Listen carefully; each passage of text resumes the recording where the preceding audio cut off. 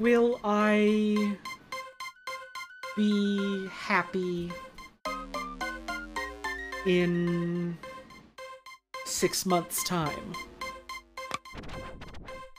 Ah, well, uh, what? Six months after October, November, December, January, February, March, April. Okay, uh, April 25th, 2022. Mark your calendars. Holly's gonna be sad.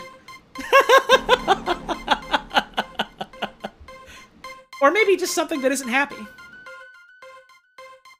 Um. Oh, magic orb. Will I have a good Halloween? That's fair. Uh, oh, magic orb. Will I ever play Bros for the Atari 800 again? Fuck!